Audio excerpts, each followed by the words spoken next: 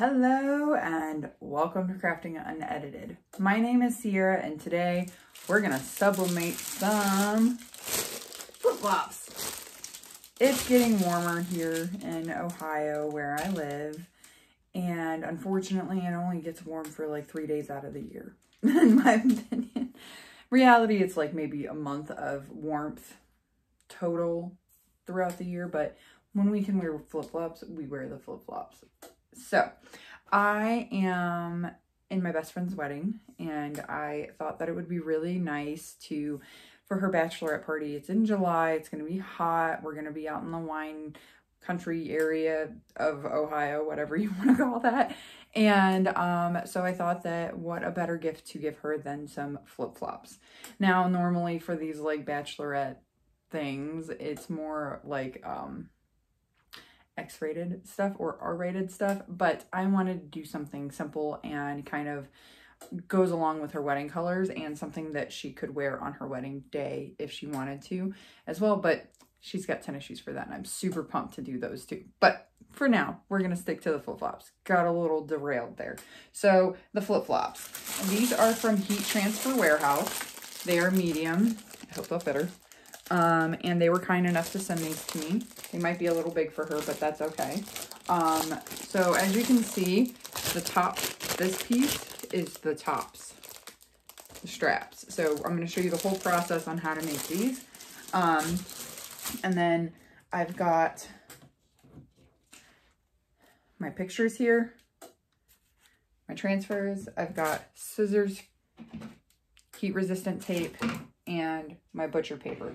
The butcher paper I use is actually parchment paper and it's from Costco. It doesn't have a wax coating. That is very important. You want to make sure that the butcher paper, wax paper, coat, not wax paper, parchment paper, whatever paper you're using for sublimation does not have any type of wax coating as that will make your image not transfer at all.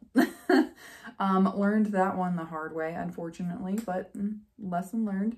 So moving on, um, we're going to go ahead and get started. My heat press is set to 600, or sorry, ooh, 400 degrees and 60 seconds. 400 degrees for 60 seconds, not 600 degrees. So it's already warm. I've already lifted my heat press to the height that I need it to be. And I've got everything else ready. Just gonna open this up here.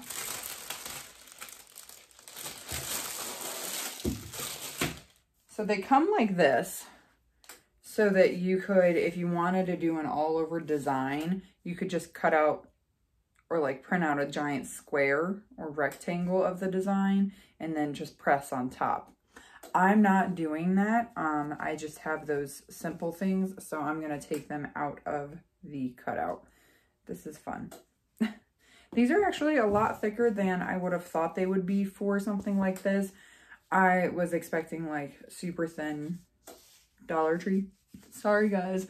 Um, thickness, but this is awesome because this is good quality. It is like a fabricy material, so I will be using a lint brush on these before I get to pressing.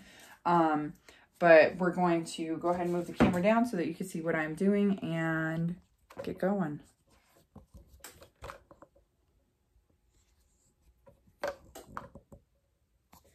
Go. Oop, a little shaky there. All right. I don't use a lint roller. I use a lint brush. Um, I don't know. It's less sticky. And just as effective. I got a piece of hair on there. I can't tell if it's dog hair or my hair because we have the same hair color. Okay, that's done and done. And now we're going to put these guys on here. See, simple, floral, matches her wedding colors. All that good fun stuff. And I'm going to put it like, not on the ball up here where the toes are, but like here. I thought about putting it here, but one, I made it too big, and two, that's where all the pressure is going to go, so it could, like, rub off pretty easily. I want it kind of, like, right where there's not a whole lot of pressure on the foot so that they'll last longer. That seems about right. And then I'm going to put them side by side so that I can evenly space it. And this could, if I had the artist capacity and the patience to do like, I wanted to do a him and a her or a her and a him. That way when she puts them together, they're holding hands or something, which would have been super, super, super cute. But one, none of the pictures I found had a bald guy in it and I needed a bald guy for him. And two, I couldn't get the dress right. It wasn't, her dress is one of a kind, so there's no finding one that's similar. So it bugged me enough to not do it that way. So I just did this. Maybe I'll be able to find that for her shoes for wedding day. But for now, this will do. Okay. So that's about as even as I'm going to get it. Excuse me. Sorry about that. I felt that one coming. And we're just to pull off some tape here. Goodness, maybe.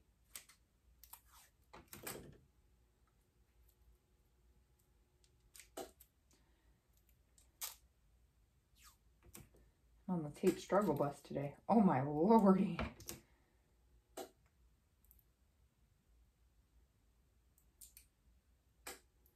Come on, I just need one more piece. Oh my, what's? Oh no, that one's covered in dog hair. I have a golden, in case you're wondering, and he is a shedding beast The king of shed. Between his hair and my hair, our house is covered. It's awful. Oh, well, that was dumb of me. I forgot. My table was painted. I'm going to change that piece of tape because, in this one, because there's paint on it, and I don't want that to transfer onto the shoe. You can see what I'm doing, right? Yes.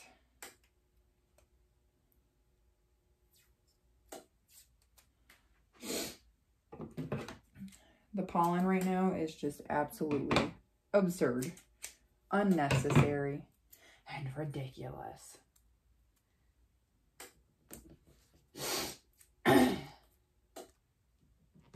okay, ready to roll. And then we've got our butcher paper. I'm gonna go for my bigger sheet here and we're just gonna place it right on top like that, right? I locked this a little bit.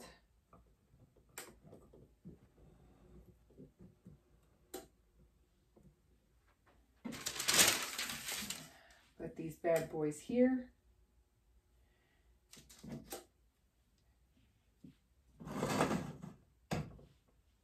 There we go.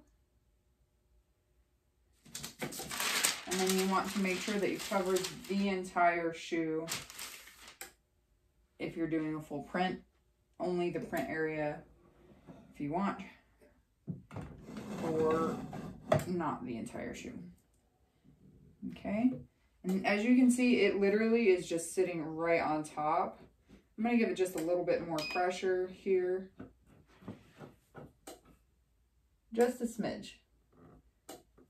And I already set the timer because there is already heat pushing into the um, shoe you don't want a ton of pressure on any sublimation that you do um, for several reasons. You'll get like outlines of where your transfer is sitting. Um, you can get scorching, things like that. It's really easy to get with sublimation. So you don't need a ton of pressure. What you need is even this the evenly distributed heat. That's the key to sublimation. So again, this is literally just like hovering right on top of it. I could move it around if I wanted. Um, not a lot of pressure at all. So if you're using like an easy press or a mini press or anything like that, you would literally just set it on top. No pressure is needed, no extra pressure outside of that is needed. If you're using more of a automated press where it tells you how much pressure you're putting onto a product, easiest thing is to do light to medium pressure. And I am adamant on throwing my butcher paper away as soon as I am done pressing. Why? So that I don't try to reuse it by accident.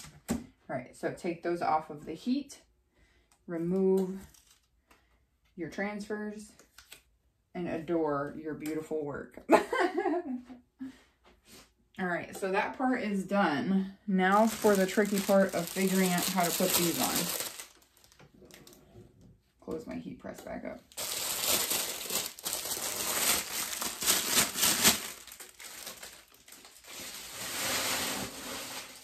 It can't be that hard. It's got to be just like if you are at the theme park or in the middle of a store and your flip-flop comes out of the thing it's gotta be that simple, right? It's just gotta be. Just push it through. Maybe. Maybe just push it through. Um, okay, it even has a left and a right. So this would be the right one. Hmm. Interesting. See, it has a little R. And then it tells you on the other one, medium. That's pretty nifty. I should just be able to push it in. Maybe I'm just not strong enough.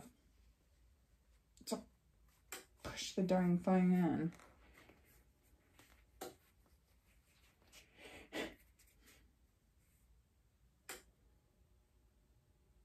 Hmm.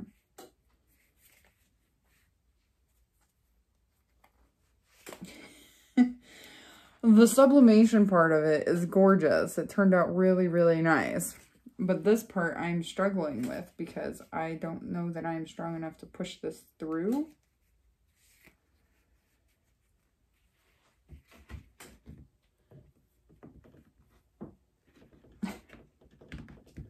Getting a little assistance from a screwdriver. I didn't help at all. I almost got it. It's just so hard. Hurt your fingers too. I thought this would be easier.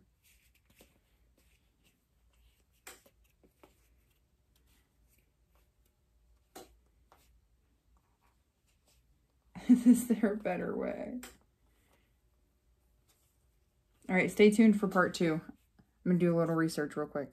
I'm back, and with the help of some pliers, I got one through. And I'm hoping that it's the right one because I don't want to do that again. All right, so basically what I did was I put the pliers through the hole and then pushed them open just a smidge, just enough to get the edge here in to the plier nose and gripped it, see? And then I gave it a death grip and I pulled.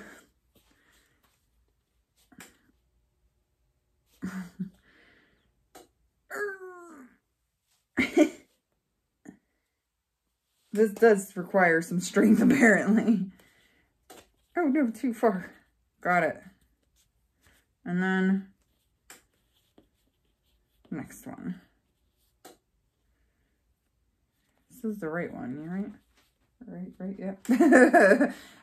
I had to do the whole L and R thing.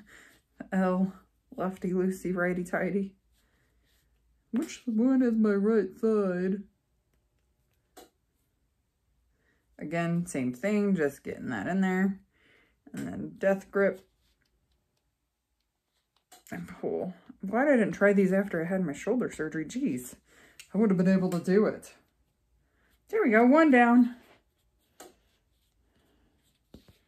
Tadar.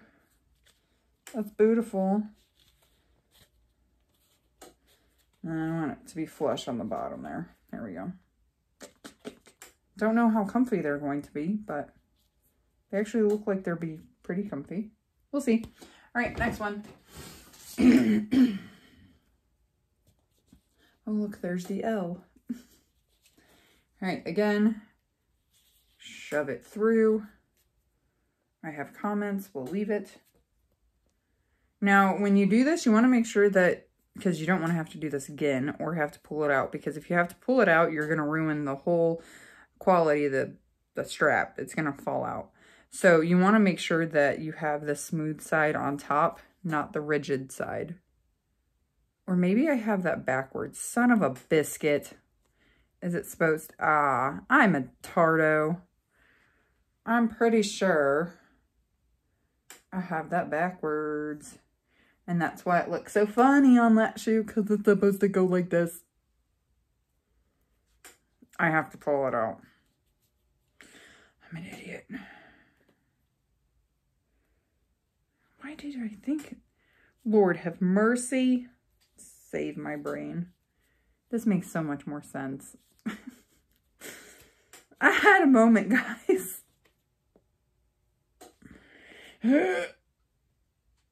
Come on, you can do it.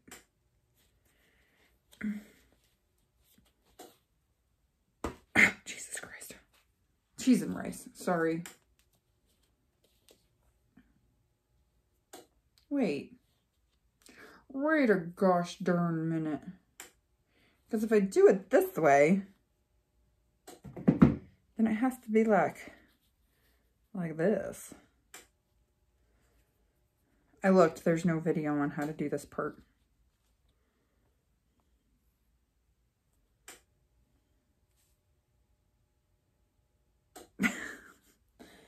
I'm having a moment.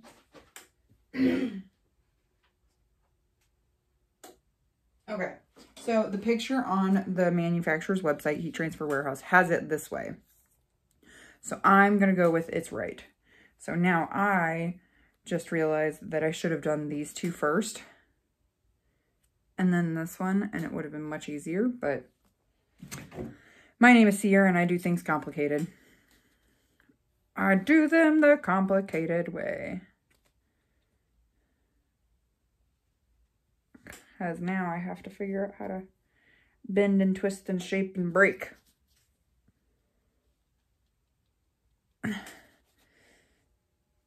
It's a good thing I didn't go to my workout yet because I'm going to get a workout and doing this. I'm going to get there and trainers going to be like, why you so, why you so strong, weak?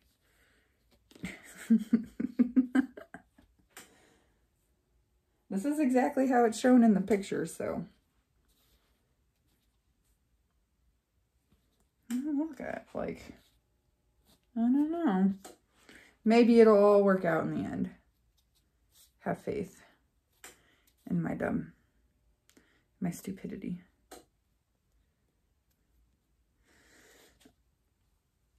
It's getting easier as I do it more.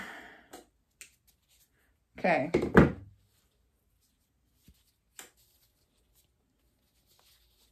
See, it's like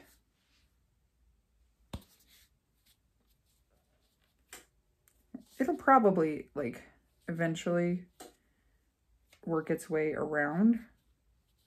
I think it's just because of the way it was in the packaging.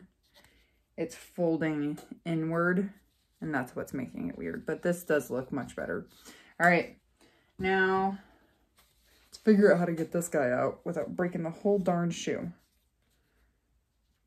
And I could actually just take these two out instead of all three.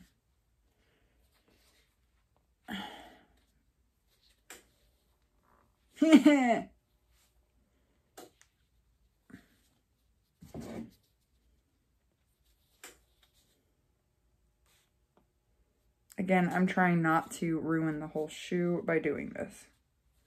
I feel like I should have just left that one, did that one this way, but now I gotta undo this one. I'm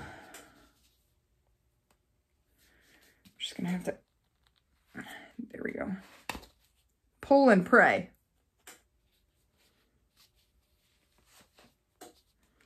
my thought process here is get one edge of the round out and then push it the whole thing through.